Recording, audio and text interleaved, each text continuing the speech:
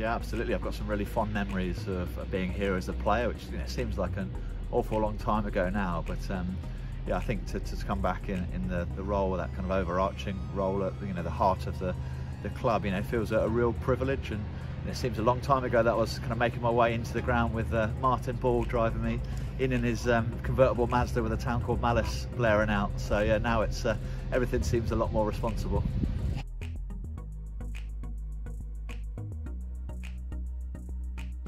Yeah, I, th I, think that the breadth of the role and the ability to, to influence across the whole club was, was really exciting. Um, and, and, actually, you know, from my perspective, the talent pathway, the professional element to the club as well, and, and mixing the skills and experience that I've built up over the last kind of 10, 12 years. So that was hugely exciting. But um, I think, you know, got a really talented squad here that thought we could, you know, compete for the trophies and, and also just to improve that squad as well. So the balance of kind of the development of that squad and I think the ability we've got to compete and win coupled with some you know some areas for, for growth across the club which I think I can really help influence you know it, it seemed a hugely exciting opportunity and a great match for my skills and experience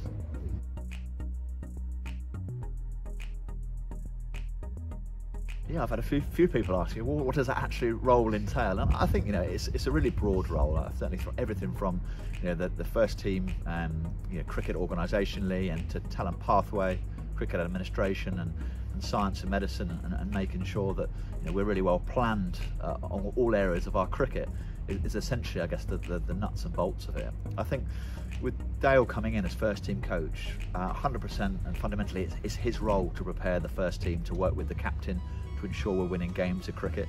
And though I'll have some input with Dale, it's it's his baby there. He'll, he'll be working with the first team captains in, in, to try and bring us success. Um, I think I look at the role really as looking after the, the, the medium to long term interests of the club and, and making sure that, that the planning and the organisation is there to, to, to, ensure across all our departments that they're not only well functioning but uh, looking to improve in all aspects. So yeah, I'll be having a, um, uh, a keen eye on the first team. I'll be out there with the slinger and mitt and I'll certainly be influencing in a number of areas but kind of looking forward to, to leaving Dale to that one.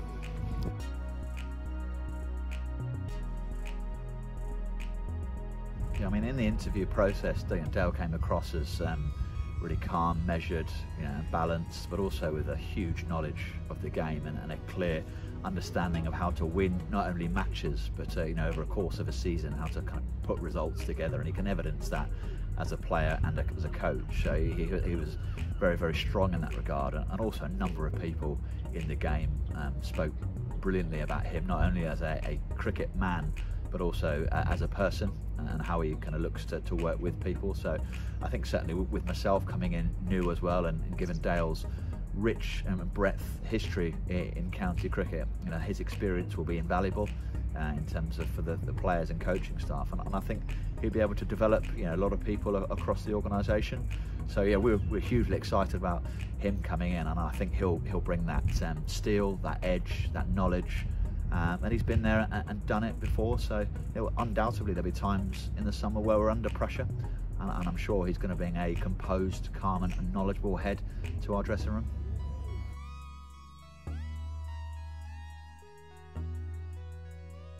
Yeah, I think that there's been some some really exciting recruitment that has gone on off the field, and I'm not including my, myself in that, but you know the, the recruitment of, of Dale Benkenstein and Marcus Harris and Zafar as you know overseas spinner coming back, um, and also some of the, the signings we've made of our own players to retain. But I, I think that the vibe and, and, energy around the club, you know, seems significant, and, and, haven't been at the club for a while. But you know how things have developed around the ground, and just the, the general signage and the, the aspirational nature of where everyone seems to be at.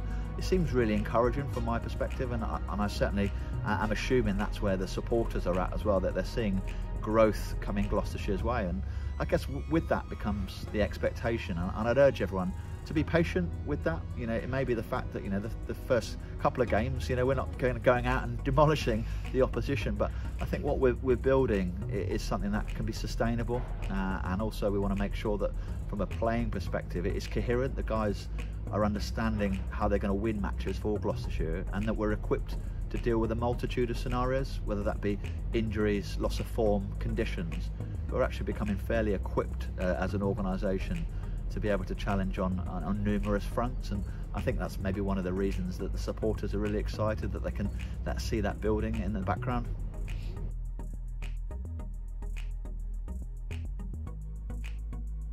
Yeah, you know, it's one of the things I find hugely exciting in terms of coming back to the club is we've got those, you know, those young players at Dom Goodman, Ollie Price, you know, Tom Price, um, Ben Charlesworth, you know, young players of really high potential and, and have had a bit of a sniff in first team cricket. And then you've got that middle group of players who are highly experienced, um, who also had a sniff of some some bigger cricket. You know, James Bracey, your David Paynes, uh, your more experienced, you know, Chris Dent, with our overseas recruitment, which I think has been really strong. And you know, and I think across the board we've got that balance of aspirational and exciting young players. We've got plenty of growth. We've got our kind of guys who are in the middle of their careers, and actually it's it's then up to them. Well, what do they want to make of their careers now? How are they going to influence matches and and how are the coaches and ourselves going to inspire them and develop them to be more effective players for Gloucestershire and beyond? And then you've got your kind of creme de la creme of your your overseas players. You know that the, the real kind of um, cherry on top of, of, guys you're bringing in and to provide real influence in matches. And I think that kind of marriage between those three aspects of the club is, is really exciting.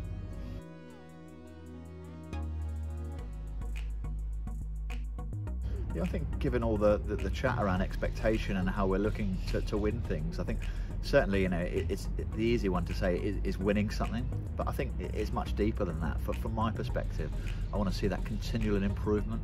I want to see that the optimism that's here pre-season um, and around the ground, that's actually then goes on to the field. That our players are developing, they are improving. Our departments and our processes around the, the ground and um, with our kind of talent pathway, professional teams, that's evolving and developing as well. And that our players are going out to the field and they're able to stand up under pressure and produce match influencing performances when it counts. I think at times we have to understand that the opposition can play well and there may be certain circumstances which are beyond our control. So if we're evidencing continual improvement and we're competing uh, in all areas, in all formats, you know, for me that represents success. I think it's very easy to to say that silverware represents success. Well, it may be the fact actually that the opposition haven't played well either in certain areas, and I want to build something really big here, you know, really kind of massive over the next kind of five to seven years, which represents sus sustainable improvement and success rather than a one-hit wonder this year. So certainly those incremental areas uh, are a big thing for me, but um, yeah, I can assure everybody uh, at home that we'll be doing our, our, our very best to ensure that we'll win trophies too.